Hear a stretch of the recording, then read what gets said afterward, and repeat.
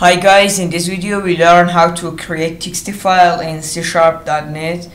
Uh, first you subscribe our channel and like this video. If you don't know how to create text file, please check last video. And now I add a text box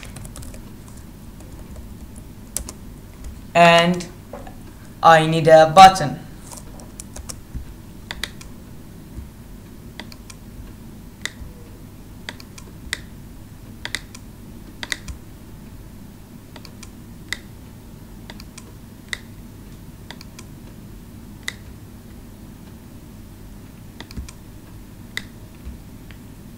I change my button text to read file.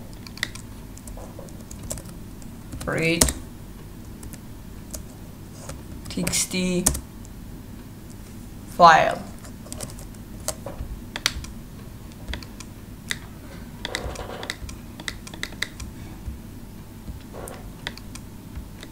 And I use IO namespace using system.io.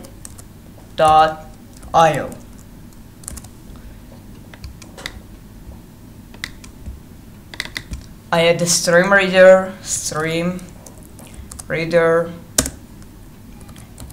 read file equals new stream reader and now I add my file address txt file in drive e test folder and txt one file txt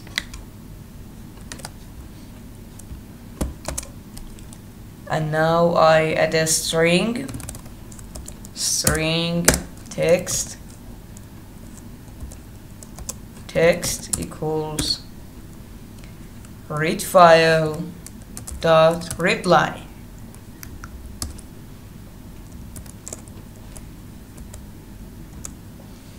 And text box one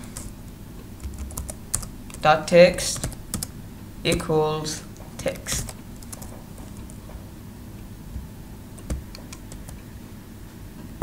And I start my project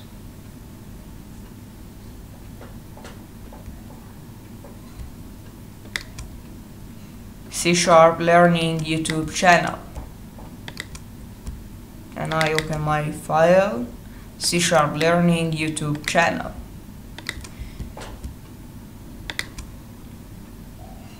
Goodbye and thank you